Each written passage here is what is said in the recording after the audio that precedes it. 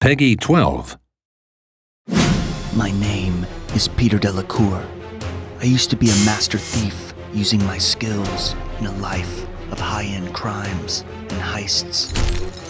I was pretty good at my job. If I wanted something, I took it. And getting away with it, that was half the fun. But now, I've got a new job. Job no one knows about. I've even got some new friends. Sweet. They're almost as strange as the job itself.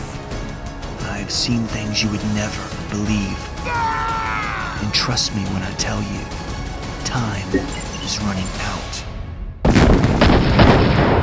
For all of us. So get ready. It's gonna be one wild ride. Thank you.